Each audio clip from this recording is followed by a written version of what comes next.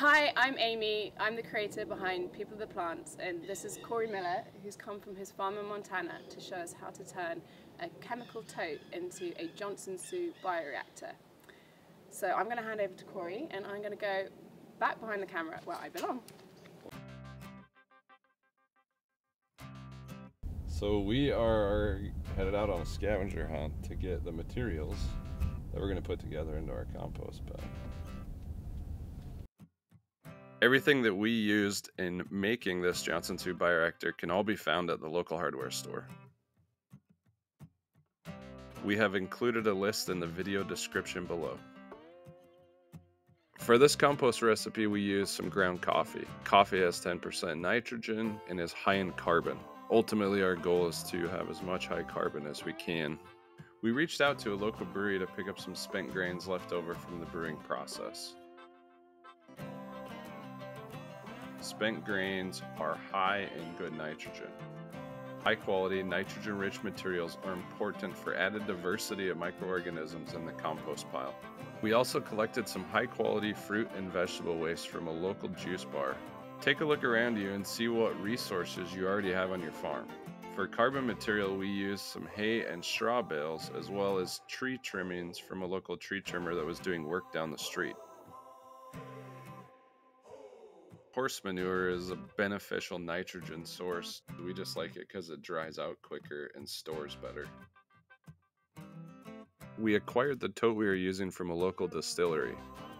They used this tote to transport hand sanitizer that they manufactured during COVID.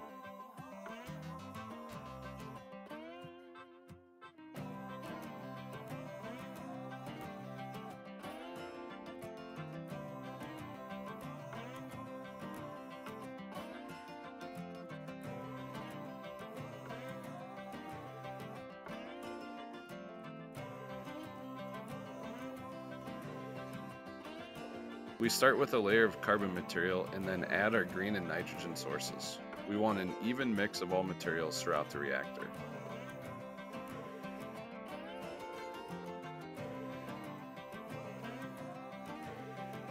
I like 60% woody or brown materials, 30% green materials, and 10% high nitrogen sources to produce a fungal dominated mineral rich compost.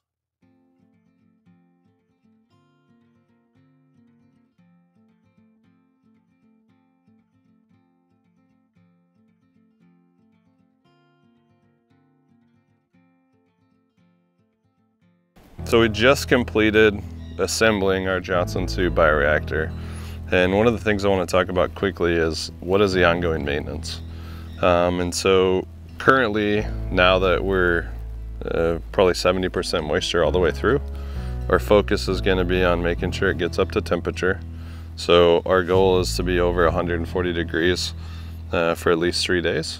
And then, uh, but we don't want it over 175-ish. The next step after we get it through the thermophilic or the heating phase uh, is a good point when the temperatures cool down to add some worms. And those worms will go through and, and deposit worm uh, compost throughout. And ideally, we're getting the best of both worlds. So we're going through the thermophilic phase, we're adding in some worms for some vermicompost. Um, and then, you know, at a minimum of nine months from now, we'll open this up and it'll be ready to be applied. Since making uh, the original video that, that uh, Amy and I did, we've had a lot of people reach out to us with questions. And uh, a lot of the reasons we're, we're showing people how to make our Johnson Sus uh, is because of all those questions. And um, we love it. I love communicating with other farmers. Um, I mean, I think I've talked to people on all the continents in the world. I've talked to people in most countries on our situation and what we're doing at Grass Valley Farms. But you know, I'm happy to help. So if you guys have questions, reach out to us on our website. Um, tips and tricks, what we do on a large scale. Uh, check out the other video that we did, uh, composting on a large scale at Grass Valley Farms. Um, don't be afraid uh, to ask for help because this is exactly what I did when I got started. I asked everybody I could to find out how to do it best. Thank you for watching People of the Plants. Let's learn together to find better ways of growing that don't damage the earth. We value your feedback please like, comment, and subscribe below.